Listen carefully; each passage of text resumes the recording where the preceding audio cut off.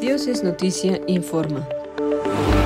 Cantemos al amor de los amores. Como cada año, el pasado 14 de febrero, en que el mundo celebra el Día del Amor y la Amistad, la Renovación Católica en el Espíritu Santo llevó a cabo esta celebración más allá de lo que el mundo ofrece, recordándonos a través de un concierto de adoración el gran amor que Dios nos tiene. Hemos venido a adorarle, hemos venido a adorar el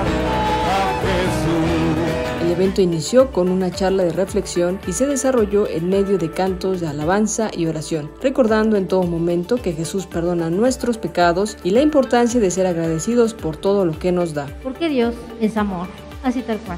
Bien hermoso, bien fácil. Entonces Jesús trae esta novedad de que ahora nosotros vamos a actuar según el amor y ya no según el miedo. Fue César Zafra, coordinador del movimiento, quien habló también de la pandemia, de las dificultades y sufrimientos que se han vivido en ella. Tenemos que hacer una metanoia, tenemos que hacer un cambio de mentalidad, tenemos que hacer un cambio del corazón y regresar al Señor.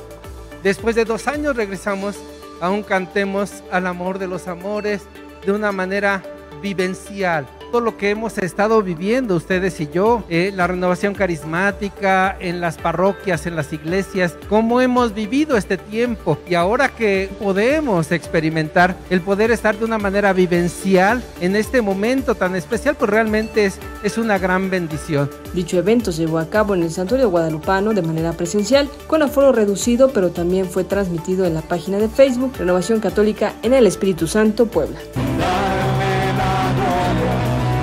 Lord.